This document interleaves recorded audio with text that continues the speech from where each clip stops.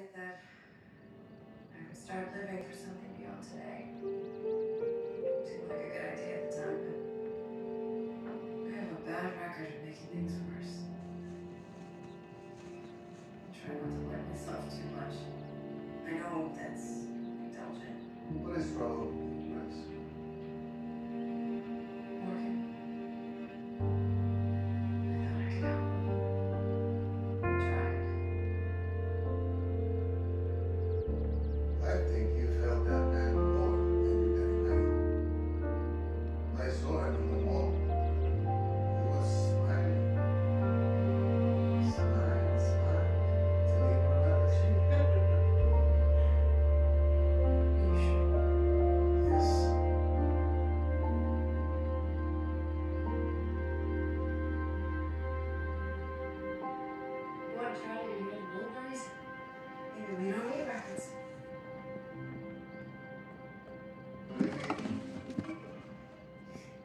lessons when I was a kid.